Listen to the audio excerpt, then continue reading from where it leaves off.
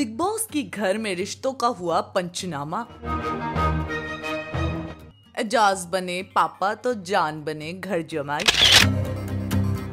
दरअसल boot big boss के नए एपिसोड जिसके होस्ट करण वाही और मेहमान बनी थी बिग बॉस की एक्स कंटेस्टेंट और TV actress Kamya Punjabi Bigg Boss के घर में होने वाली हलचल के हर पहलू पर ये दोनों ही बात करते हुए आए नज़र। इस दौरान टू में खेल का आयोजन भी किया गया। इसका नाम था फैमिली ट्री यानी कि बिग बॉस के घर में मौजूदा सदस्यों के बीच रिश्तों का पंचनामा। इस गेम में एक झाड़ पर रिश्तों के नाम लिखे हुए थे। रिश्तों के हिसाब से, घर में कौन सा सदस्य किस भूमिका में फिट बैठता है, उसका जवाब काम्या पंजाबी को देना था। करण वाही का पहला सवाल था कि घर में दादा यानी कि गुंडा कौन है? काम्या पंजाबी ने जवाब दिया कि जिस तरह से घर में आते ही कैप्टन कैप्टनसी पाने के बाद कविता कौशिक ने जो रुतवा दिखाया था, वो बिल्कुल दादा वाला ही था। वहीं करण बाही का अगला सवाल होता है घर में एक सदस्य ऐसा होता है, हर कोई भी मेंबर बहुत आसानी से बात कर लेता है, और वो सबके लिए सॉफ्ट नज़र आती है, यानी कि माँ। काम्या पंजाबी ने इस किरदार के लिए जैस्मीन का नाम लिया। घर में पापा वाली भूमिका के लिए जब करण ने सवाल किया तो काम्या पंजाबी का जवाब एजाज खान थे।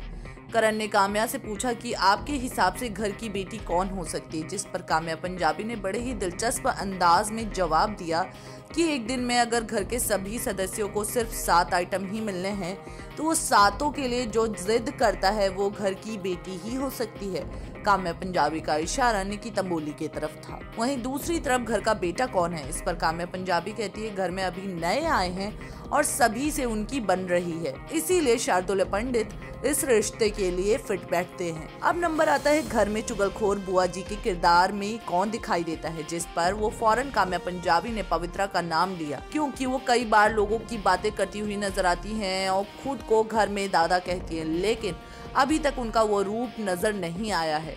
अगला सवाल करण का था कि घर में फूफा जी कौन है, जो बिना बात के मुँह फुलाए हुए नज़र आते हैं। इसके जवाब में काम्या पंजाबी ने निशांत का नाम लिया। और उन्होंने वजह बताई कि घर में बिना बात के मुँह फुलाए हुए वो नज़र आते हैं, लेकिन जहाँ बातें बोलनी चाहिए, वो चुप हो जाते हैं और जहाँ उनको नहीं बोलना चाहिए, वो फूट पड़ते हैं। वहीं करण काम्या से आखिरी सवाल करता है, घर का जमाई कौन है? तो काम्या पंजाबी ने बड़े ही दिलचस्प अंदाज में बताया कि नाम जान कुमार सानू का है। तो यहाँ आने के बाद वो अपनी सिंगिंग भी भूल गए हैं और बिग बॉस के घर में जो गेम चल रहा है तो इस तरह से करण वाही बिग बॉस के घर में मौजूद सदस्यों के बीच रिश्तों का पंचनामा करते हैं। वेल, आपको हमारी ये खबर कितनी पसंद आई, आप हमारे कमेंट बॉक्स में ज़रूर बताएँ। टेलीविज़न की लेटेस्ट अपडेट्स और छटपटी गॉसिप्स को जानने के लिए हमारे चैनल को सब्सक्राइब करना ना भूलें।